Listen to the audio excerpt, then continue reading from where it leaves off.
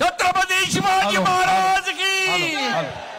उद्धव साहेब आगे बढो मी विनंती करतो शिवसेना पक्षप्रमुख आदरणीय उद्धव साहेब ठाकरे यांना की त्यांनी या सभेला मार्गदर्शन करावं. जय भवानी! जय शिवाजी! जमलेल्या माझ्या तमाम हिंदू बांधवांनो भगिनीनो आणि मातानो. हा गोंधळ आता आपल्याला महाराष्ट्राच्या कानाकोपऱ्यात घालायचा आहे. आणि महाराष्ट्राची जी भवानी आहे तिला मी आज साथ घालतोय की बये दारुगड!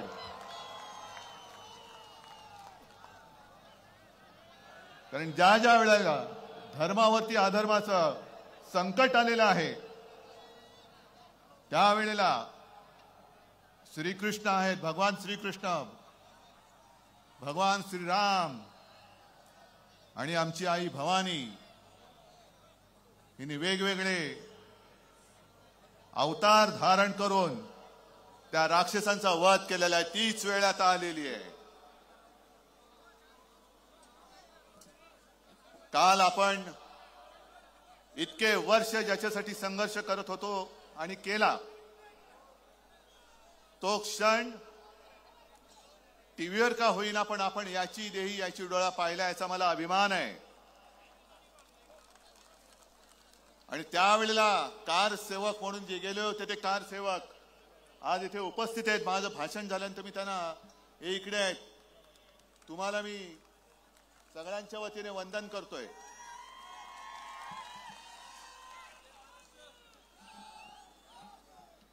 काल काळाराम मंदिरामध्ये मी गेलो होतो. सावरकरांच्या जन्मभूमीत मी गेलो होतो. आणि अयोध्या ही प्रभू श्री रामचंद्राची जन्मभूमी आहे. पण हा माझा जो परिसर आहे पंचवटी आणि नाशिक ही प्रभू श्री रामचंद्राची पराक्रम भूमी आहे. आणि असं म्हणतात की आता जिथे ते मंदिर आहे तिथेच पर्णकुटी होती? जिथे भगवान श्रीराम सीतामाई लक्ष्मण हे तिकडे राहिले होते.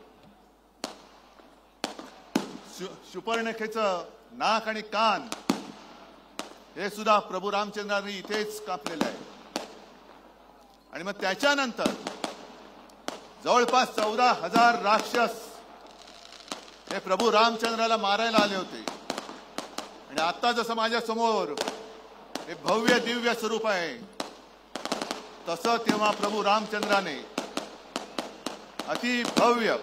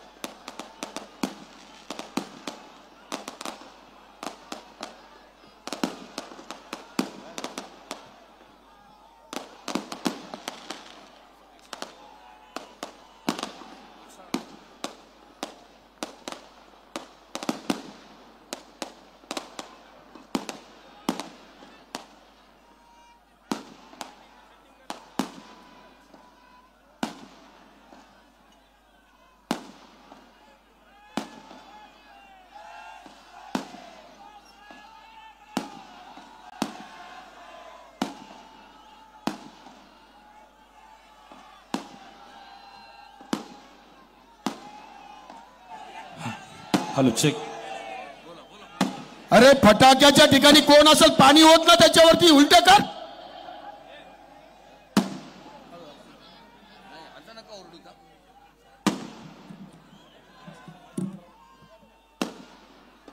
आणि चौदा हजार राक्षस जेव्हा श्रीरामाला मारायला आले होते त्यावेळेला श्रीरामाने असंच अतिभव्य काल स्वरूप धारण केलं आणि त्या रा त्या राक्षसांचा वध केला होता.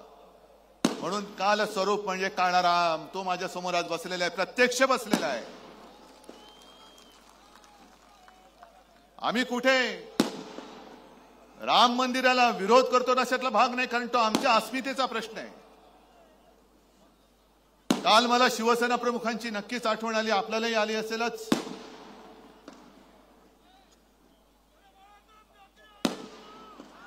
अरे काय उ-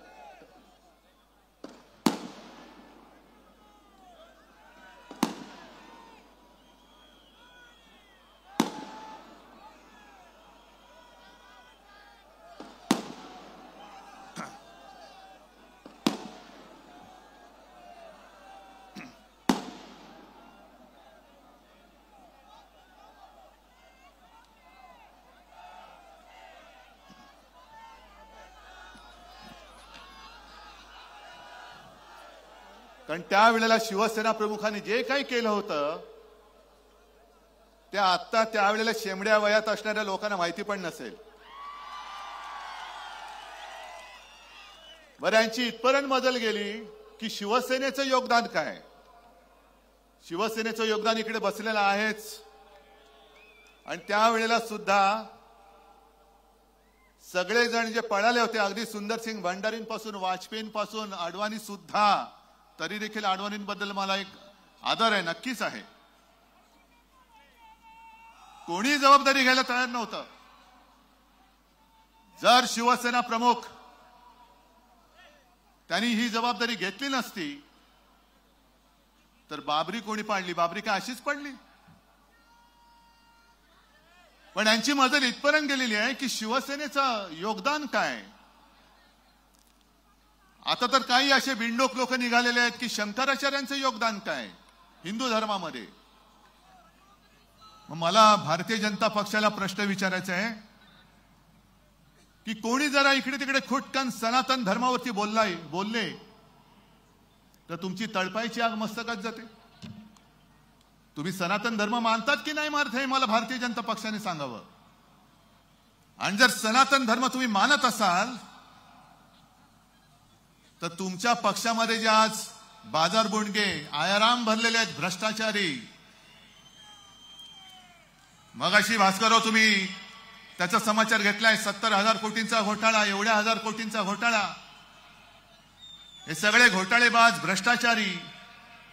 हे सगळे तुम्ही तुमच्या पक्षात घेतले. मग मी असं म्हणू का की भारतीय जनता पक्षात आज भ्रष्टाचार्यांना मान आहे पण शंकराचार्यांना मान नाही. मग मोदींचं राजकारण किंवा हा काय नवीन धर्म तुम्ही काढताय? की शंकराचार्यांचे अरे तुम्ही भ्रष्टाचारांशी बोलताय लपून छपून रात्री जाऊन हुडी घालून बोलताय तुम्ही तुमच्या पक्षामध्ये त्यांना घेताय मोठी मोठी पदं देत आहेत आजूबाजूला बसवत आहेत प्रफुल्ल पटेल बरोबर तुमचे फोटो येत आहेत मिरची बरोबर ज्यांनी व्यवहार केला देशद्रोही इक्बाल मिरची त्याच्याबरोबर व्यवहार केला म्हणून बोंबलणारे तुम्हीच होतात. त्यांच्या तिकडे उद्घाटनाला जात आहेत.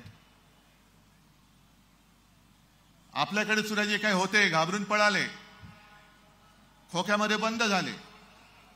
आणि आज मी तुम्हाला जाहीर सांगतोय लढाईला तुम्ही तयार आहात की नाही आहात?